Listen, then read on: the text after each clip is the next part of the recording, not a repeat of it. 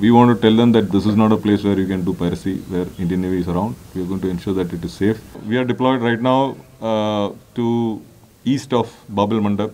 We are not inside the Red Sea, but we go inside the Red Sea when our interests are, you know, threatened.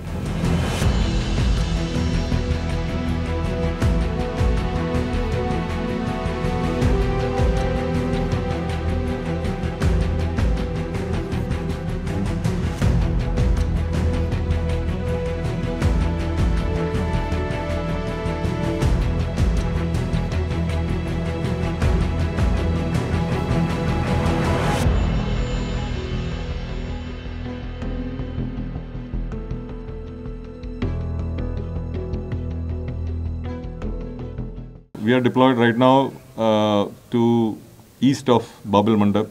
We are not inside the Red Sea, but we go inside the Red Sea when our interests are, you know, threatened. Uh, we have a ship deployed uh, the side of the Red Sea and uh, of Bab-el-Mandeb. Uh, we do not have many Indian flagged vessels transiting, and so far uh, they have not faced Indian flagged vessels have not faced any threat from anyone. So our number of vessels is very less who transit generally maybe one or two at best.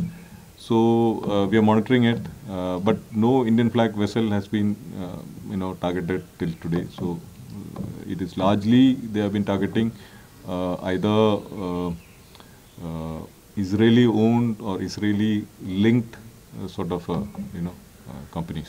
We have got two operations ongoing in the in the Indian Ocean region. One is anti-piracy operation. This anti-piracy operation has been going on since 2008. We have been having a constant deployment of one ship there. So if you see from 2008, totally we have deployed about 106 odd ships, you know, uh, uh, to combat piracy. Now the presence of a warship deters, you know, the the pirates. Uh, early last year, we thought, you know, piracy is almost gone. It is hardly any uh, piracy attempts were there. But uh, towards end of uh, last year and beginning of this year, we suddenly saw, uh, you know, they're hijacking one vessel and attempted hijacking of another Indian uh, vessel with Indian crew. So uh, we have increased our deployment. We are aggressively going after them. Uh, we want to tell them that this is not a place where you can do piracy, where Indian Navy is around. We are going to ensure that it is safe. So we are boarding uh, all the uh, suspicious uh, dhows, fishing vessels, boats, whatever is there.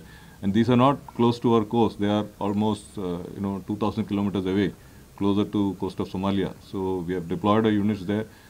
Uh, we are boarding them, looking for piracy triggers, arms, you know, high-speed board, high-speed engines, things like that, and uh, we're going to take action against uh, them and dissuade them from, you know, uh, resorting to piracy.